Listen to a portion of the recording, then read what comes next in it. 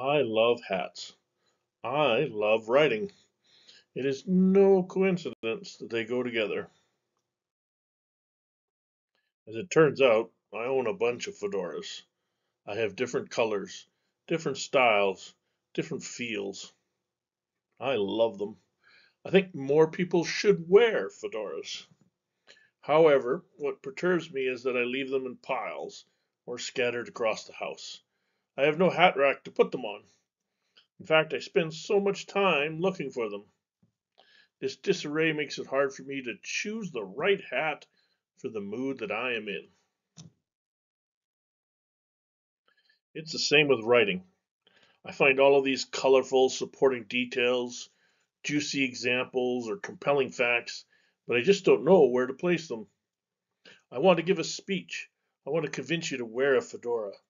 I've dug around the net. I have talked to fellow fedora aficionados. I have examined my own experiences and observations. I have a lot to say. I just don't know what to do with the list. If I think about it, neither does my reader. I feel like I have the responsibility to tell and show the reader. However, I know I must also guide the reader. That's you, so that you can follow what I am saying. Well, with my fedoras, it turns out I can buy and mount a hat rack. I can then display and find my hats. In fact, I can even arrange my hats on the hooks in the way that I like. For instance, I might order my hats in terms of jazziness, from no jazzy to jazzy to too jazzy to be real. It's like I've added a form and a structure. It's like I'm ready to display my hats for others. It's like I'm able to make better choices. These hats are set up on a hat rack.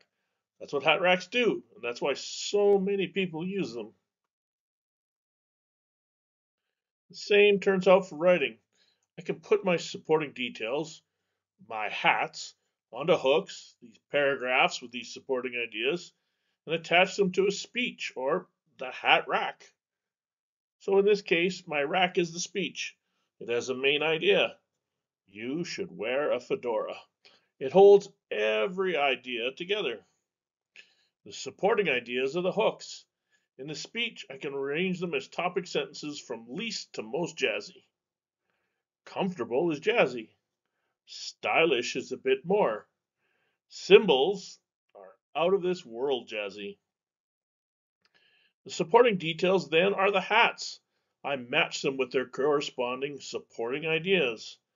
Ventilation goes with comfortable. Contemporary takes screams stylish. Women's right movement announces symbols.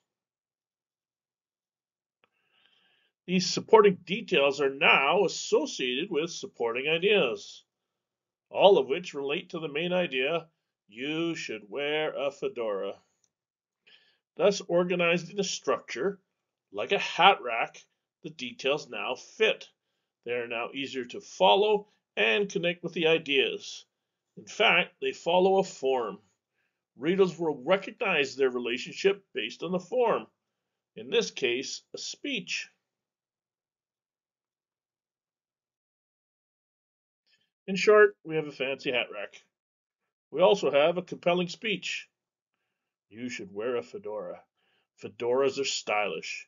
Special fedoras have ventilated crown with grommets, mesh inlets, or penetrations for better air circulation. Fedoras are comfortable.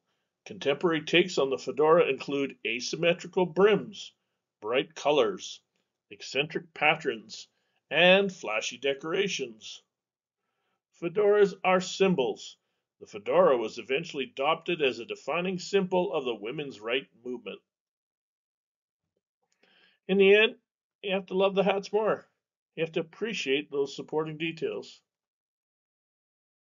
Oh, and now all you need to do is wear a fedora.